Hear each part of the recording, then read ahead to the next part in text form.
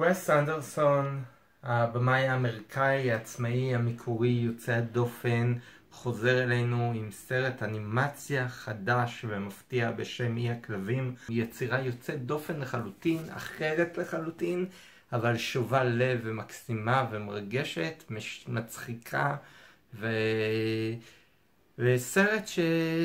סרט קיץ מושלם למי שרוצה משהו קצת אחר ואיכותי וחכם. הסרט אי הכלבים עוסק, אה, מתרחש ביפן בעולם עתידני ואפלולי שבו הרשויות ביפן מחליטות להיפטר מכל הכלבים ולזרוק אותם על אי שבעבר היה מזבלה והכלבים מחליטים להחזיר מלחמה.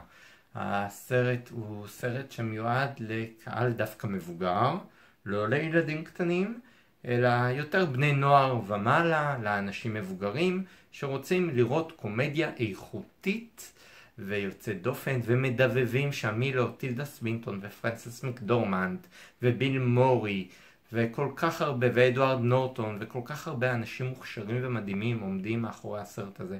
לכו לראות אותו בשביל החוויה הבידורית האיכותית.